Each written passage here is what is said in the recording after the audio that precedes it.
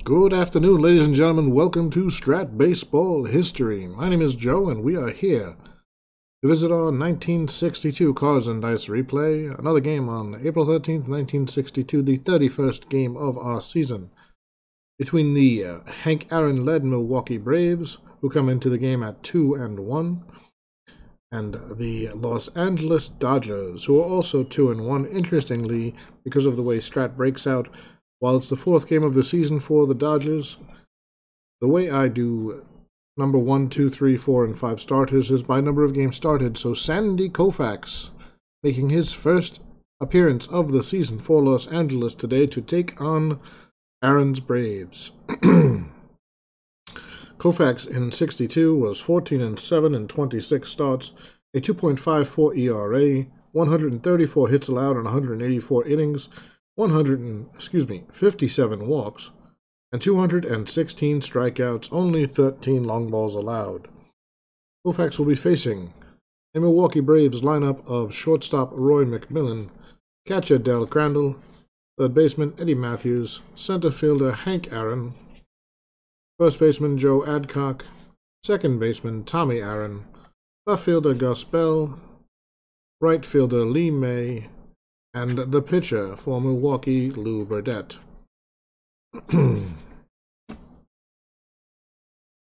Behind Koufax, defensively, the catcher today, Dolph Camilli, first baseman Ron Fairly, second base Maury Wills, third base Jim Gilliam, and the shortstop, uh, excuse me, second base uh, Burright, shortstop Wills. In left field, Tommy Davis. In center field, Willie Davis. And in right field, Frank Howard. So Koufax ready to go.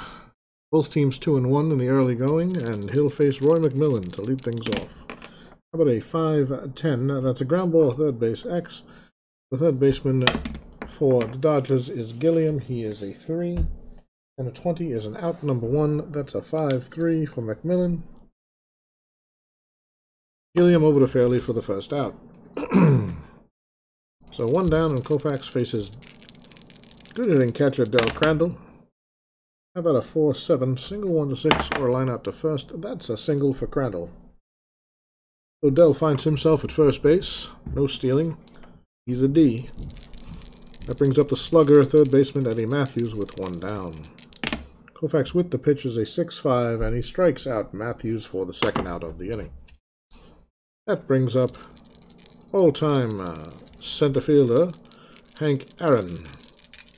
Aaron actually a better right fielder than center fielder, but he's carded primarily in center here.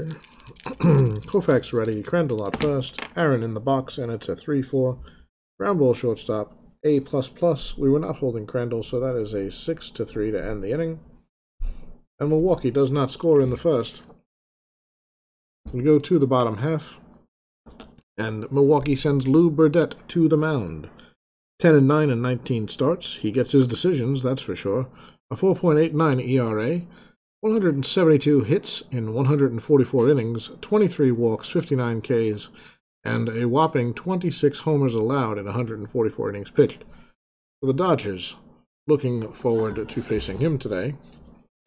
Their lineup will be uh, batting first, Wills at shortstop, third baseman Jim Gilliam at sec batting second, Willie Davis batting third and playing center.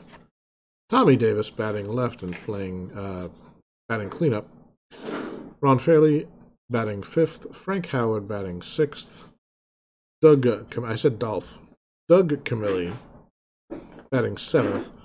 Doug's got an interesting card for a very small time player. He has four home runs and 88 at bats, and you can see that two column pretty deadly. A 523 slugging percentage in limited play for Camilli. Larry Burright playing second and batting eighth, and the pitcher Koufax batting ninth. Please ignore the sounds of animals in the background. They are of no consequence to our replay. Lew Burdette on the mound, he deals to the very fast Maury Wills. 2-9, that's a fly ball to center for the first out. Wills had 104 stolen bases in 783, or 80, excuse me, 62. I'm getting my replays confused. Ah! Will's having trouble getting on base in the early going here, though. So Gilliam comes up to face Burdette. That is a 2-7. There's a base hit. Gilliam uh, showing him how it's done. He's a B stealing. That's a 1 to 13. But Crandall's minus 3. And the hold makes it a minus 5 to that. Only a 1 to 8. I may have to break up the pets in a minute. But first, Willie Davis will come to the plate. Gilliam on first. A 3 is 7. That's a ground ball down to first. A 3 to 6 to 3. Double play. And Los Angeles is done in the first. So no score after one. And it'll be Adcock, Tommy Aaron, and Bell for the Braves. Here's Joe Adcock against Koufax, 4-9. That's a strikeout. Sandy's second K of the day. And he'll face Tommy Aaron with one out. How about a 6-2? That's a grounder back to Koufax. Over to Fairly for the second out. And here's Gus Bell coming up. 5-6 is another strikeout for Koufax, his third. And a 1-2-3 inning here in the second. Dodgers to bat. And they'll send Tommy Davis, Ron Fairly, and Frank Howard to the plate against Burdette, who pitches to Davis. 2-10, the ground ball down to third. Mathews picks it up, throws over to Adcock for the first out, one away. Here's Ron Fairly, the uh, slugging first baseman for the Dodgers. How about a 3-4. The ground ball to second base. Tommy Aaron over to pick it up. Slings it. Uh, yeah. Slings it over. Excuse me. That is not necessary. Come You need to bark at me. Matter? We're recording a video here. Yes, I know. Yes, we're having a very important game in the early season between the Braves and the Dodgers. Do you understand? Oscar does not understand. He's like, I don't care, Father, I wish to have your attention. Well, in any case, Fairly's the second out. And that brings up Frank Howard. Lew Burdette to deal to Howard with two outs. That's a 5-9. Ground ball to shortstop. McMillan is a 2, and that's a 9 on the 2. That's going to be an error on McMillan. Frank Howard's going to reach on the E6. So Howard stands at first base, literally standing on the bag. Not a, not a fast runner. And that brings up that Doug Camilli card we talked about before limited play. He'd be a card you'd love to play full time, but we are using 110% usage, folks, so he's going to get limited play. Fly ball to right field by Camilli. That's the third out. And no score after two. Despite Oscar's barking, we continue with Lee Maye, Burdette, and then McMillan back at the top of the order. Here's Lee Maye leading off against Koufax in the third, a 5-6. And he's got his fourth strikeout. Another beautiful pitch Anytime you hit that 5 column, you're probably in trouble. If you're a batter. Here's Burdette. 2, 6, that's a strikeout. So 5 Ks for Sandy now in uh, 2 plus innings. And he's back to the top of the order to face shortstop Roy McMillan, who's 0 for 1 on the day. How about a 6, 7? That's a ground ball, second base X. Burright is a 2. We roll an 8. And that is a 4 to 3 or right over to Fairly to end the third. No runs, no hits, nobody left for Milwaukee. And we'll go to the bottom of the third, the Dodgers. Coming to bat with Burright, Koufax, and Wills. Here's Burright. Facing Lew Burdette. A 3-7. Single 1 to 5 or a line out to short. That's a line drive right at the shortstop McMillan who snags it for the first out. One down, and here's Koufax coming to the plate. Sandy, not a good hitting pitcher. A 5-2, he pops this one up on the infield, and Tommy Aaron settles under it. Pulls it in for the second out. That brings up speeds to shortstop Wills with two men down. A 3-5 is a ground ball, second base, A++. The plus plus does not matter, so it's Aaron over two. First baseman Adcock to end the third so no runs, no hits, and nobody left. After three, no score here in uh, Los Angeles. the Braves will send up Crandall, Mathews, and Aaron in the fourth.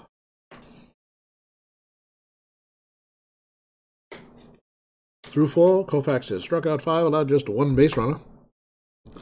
Excuse me, through three, he struck out five and allowed just one base runner. Let's see how he does against Crandall. That's a 2-2 line drive uh, to second base. No problem there for Larry Burright. There's it for the first out. Eddie Mathews, 0 for 1, struck out his first time up against Sandy. Here's Sandy's pitch, 4-5. That's a home run 1 to 6 or a fly ball to right. The 5 indicates a home run. Look out, ladies and gentlemen, Eddie Mathews takes a rare Koufax mistake over the wall for a solo home run, gives the Braves a 1-0 lead. Mathews rounds the bases and high five St. Aaron as Aaron comes to the plate. so one out, Aaron up, Koufax delivers. A 3 3 8 is a ground ball down to short. Wills picks it up over to Fairly for the second out. And that brings up the slugging first baseman Adcock, who struck out his first time up. Joe ready for the pitch from Koufax. Here it is. A 3-10. Down on strikes. So Sandy gets through the inning, despite the home run for Mathews. He strikes out his sixth, and it's 1-0 Milwaukee as we head to the bottom of the fourth. Gilliam, Davis, and Davis coming up for the Dodgers. Here's Jim Gilliam. One for one on the day. But a 3-10. This one's a ground ball down to Adcock at first. He'll take it himself for the first out. That brings up slugging center fielder Willie Davis. Grounded into a double play his first time up. How about a 1-6? There's a base hit for Willie Davis. So 1 to 15, they'll be holding him minus 5, gets him down to a 1 to 10.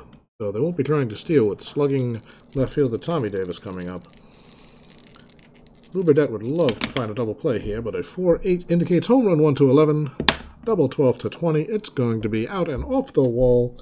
Tommy Davis with a two base hit. Willie Davis a 1 to 17 to come around to score. He does. Ahead of the throw easily. An RBI double for Tommy Davis ties this ball game at one apiece. Davis perched on second with just one out, and Ron Fairly's coming up. He'd like to hit this ball fairly and plate Davis. Burdette deals a 2-7 ground ball, third base B.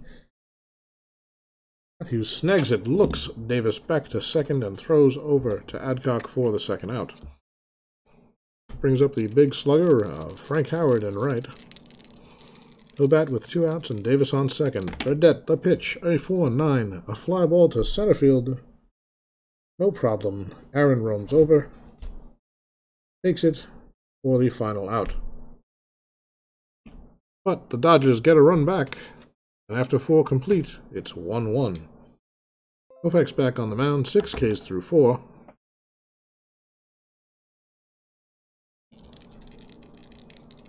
And Tommy Aaron will lead off. A 1 9? That's a strikeout. So Koufax is seventh on the day. Gus Bell struck out his first time up, a 6-2. Chopper back to Sandy, over to Fairly at first for the second out. So two quick outs, and here's Lee Maye, who struck out his first time up. 0 for 1 is Lee. He'll face Koufax a 1-7. That's a single chance, single 1 to 6, or a line out to first. It's a base hit. Just past the glove, Lee Maye is on. He's a B. That's a 1 to 13, and Burdette coming up. Looks like they're going to let Burdette hit. They want to get through the pitcher here to get back to the top of the order with two outs. So Burdette trying to get lucky. A 6-8. He puts the ball in play. A grounder to short. Wills is a 2. How about a 6? And that's going to be Wills to Fairly for the final out of the fifth inning. So no runs, one hit, one man left. and through uh, four and a half, it's all tied at one, and Camilli, Burright, and Koufax do up against Burdette. Here's Doug Camilli, 0 for 1 on the day so far, a 110. We'll make him 0 for 2. He grounds out to McMillan, who slings it over to Adcock to retire Camilli for the first out. Second baseman Larry Burright popped out his first time up. Burdette's pitch is a 5-10. That's a grounder to McMillan at short on 11. Uh, two is a 6 to 3 McMillan over to Adcock for the second quick out here in the fifth. Two good pitching performances thus far. Here's Koufax. Doesn't do much at the plate. Usually this time he puts it in play to left. Out toward Gus Bell, who's a three. The nine on a three. That's out of Bell's reach, and Sandy's gonna move into second with a stand-up two-out double. Sandy Koufax trying to help himself here. Puts himself in scoring position for Maury Wills. Wills 0 for 2 so far on the day. Burdette with the pitch, a 5-6. Fly ball to right field, it looks like. Wills is going to be 0 for 3, and he is as Maye roams over and makes the catch. So five innings in the books. It's all tied at one, folks. Koufax comes out to face Roy McMillan. McMillan two groundouts on the day, 0 for 2. He looks confident, but there's going to be a catcher's card. X16 on Camilli's 4. Will be a wild pitch, which doesn't matter with nobody on, followed by a foul out. So a foul out to Camilli by McMillan, and he's 0 for 3. The first out of the sixth inning. Here's Del Crandall. 1 for 2 on the day is Del. How about a 2 9? He finds uh, the ground out to short amid his good column. Wills over to Fairly. That's the second out. And Mathews with two quick outs will face, oh, excuse me, Koufax with two quick out, two quick outs will face Eddie Mathews, who's responsible for the Braves' lone run, a solo home run back in the fourth inning. Mathews one for two on the day. True outcomes today for Eddie Mathews. Strikeout and a homer. Koufax delivers a 4-4. And that is the eighth strikeout of the day for Koufax. A 1-2-3 And the Dodgers to bat. The 2 3 4 hitters, Gilliam, Davis, and Davis, do up. Here's Gilliam, 1 for 2 on the day against Burdette. A 6 8 is a base hit to lead off the inning. And this is Burdette's POW inning, folks. So he's a B. They will hold him on, and Willie Davis coming to the plate. Burdette deals a 4 5. He lofts a fly ball out to center field. No problem out there for Hank Aaron. And there's one away. Gilliam returns to first, and Tommy Davis will now bat. Burdette pitches to Davis, 1-4, and Tommy Davis gets a hold of this one, folks. It is back to deep right center field. A home run, two runs will score. As Davis gets a hold of Burdette here and drives one over the wall for a two-run home run. The Dodgers now lead 3 to 1. And that's not a place you want to be in if you're Milwaukee with Sandy Koufax on the mound. so Burdette, one hit away from being tired. He'll deal to Ron Fairly, who's grounded out twice today. How about a 4-5? Another fly ball out to center. Hank Aaron roams over. He'll take it for the second out. And that'll bring up Frank Howard, who's 0 for 1, reached on an error back in the second. Burdette with the pitch, a 6-5. That's a ground ball to second base. Tommy Aaron over, picks it up, throws it over to Adcock to end the inning. But the damage is done. Two runs in. On the Tommy Davis home run. Davis has knocked in all three Los Angeles runs on the day. And now Milwaukee will send up the heart of their order against Koufax in the seventh. It'll be Aaron Adcock and Tommy Aaron. you never want to face two Aarons in one inning. It's an old adage, isn't it? Well, Tommy's a pretty good hitter, but let's see if Sandy can get through Hank. Hank 0 for 2 on the day is grounded out to short twice. Koufax with the pitch, a 3-11, and he's going to induce a third ground ball to Maury Wills from Hank Aaron for the first out of the inning. That brings up Adcock. He struck out twice, has yet to even lay bat on ball. Koufax with the pitch, a 6-3 fly ball to left field. He's done better this time. Out to Davis who's a three outfielder, very average in left field. Davis can't get there, and that's going to fall in for a base hit for Adcock. So Adcock on first. The tying run now at the plate in the form of Tommy Aaron. Adcock no threat to steal. The pitch to Aaron, a 4-2 fly ball to right. Howard roams over and makes the catch for the second out, and that'll bring up Gus Bell. Bell 0 for 2 on the day, Vince Koufax. And it's going to be a 2 4 Uh-oh. Home run 1 to 2, double 3 to 20. Well, it's going to be a two-bagger. For Gus Bell. Adcock, normally a 1 to 8. He'd be a 1 to 10 to try to score. That's a 50% chance. At the bottom of the order coming up, they're going to send him. He is out. He is gunned down at home. A 9-2 to end the inning. So they took a big chance there. Had to try to get something going. Didn't want to leave it in Lee Maye's hands with two down, two on. And it remains three to one the Dodgers as they come to bat in the bottom of the seventh. They'll send Camilli Burright and Koufax to hit against Burdette. Here's Camilli, 6-8. That's a base hit. His first base hit of the day and the, the year, I believe.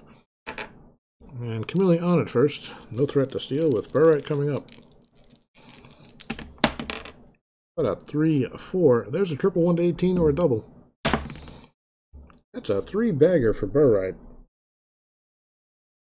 And the fourth base hit in two innings off of Burdette means he's going to be done. He's reached his point of weakness. And they will pull him, Milwaukee, with a trailing Los Angeles, I should say, by three runs, four to one, here in the seventh. Nobody out. Another run threatening to score from third. And let's see who they're going to go to. Like they're going to bring Jack Curtis in the pitch.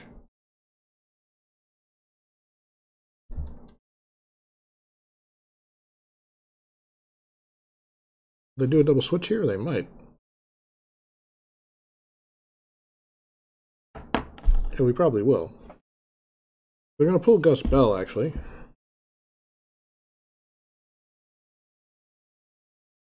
Gus Bell done for the day, as uh, they're going to seek another left fielder.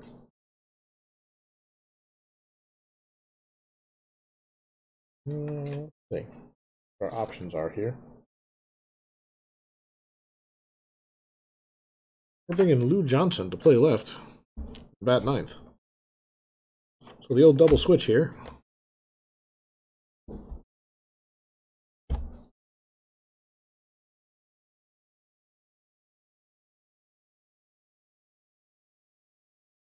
Curtis comes in. The bat in the seventh hole. He's a POW 3.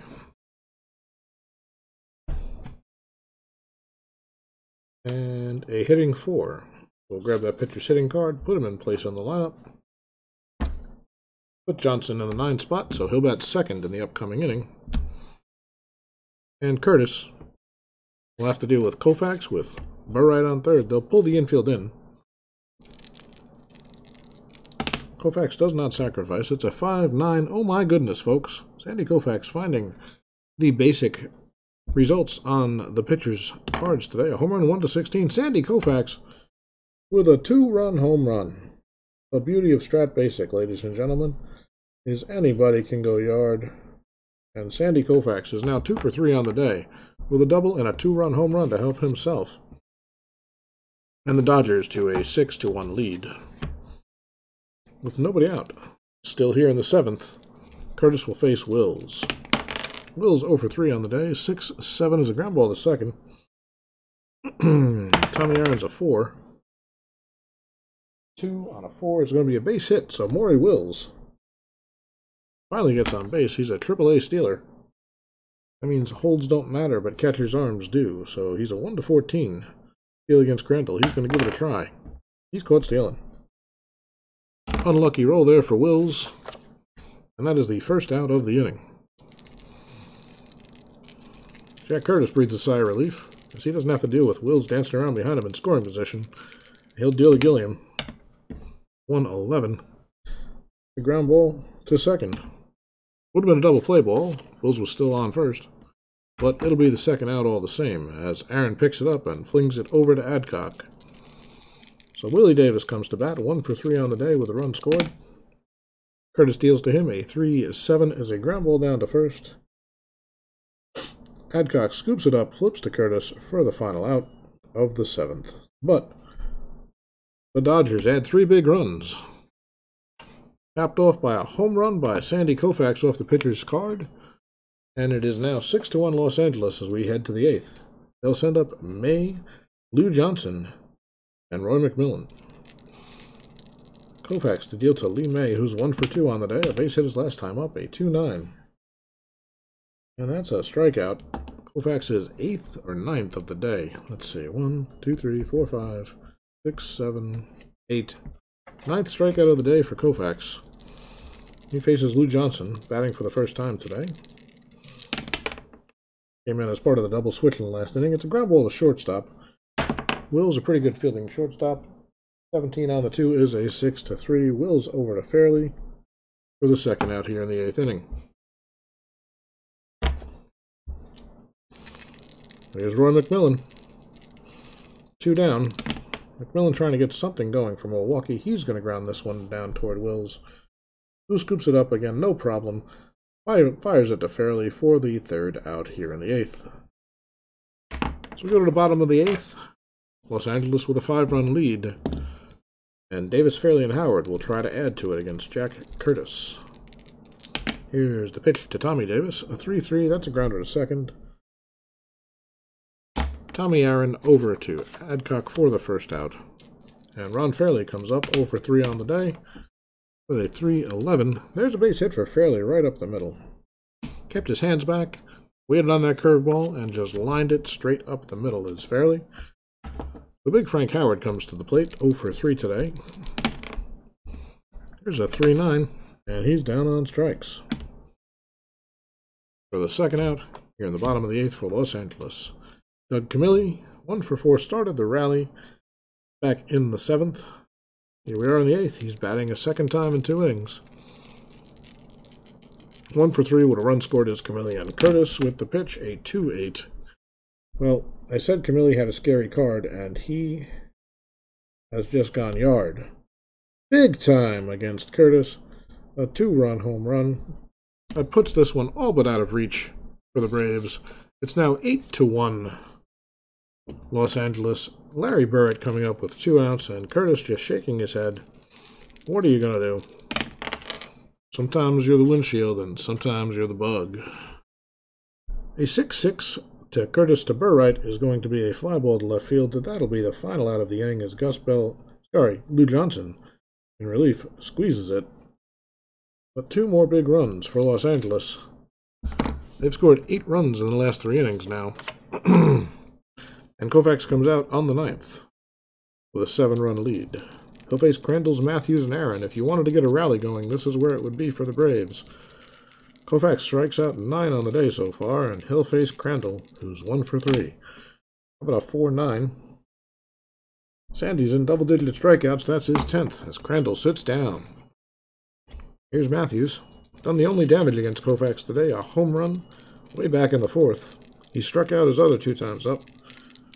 Sandy with the pitch, a 5 9. That's a strikeout number 11 for Sandy Koufax on the day.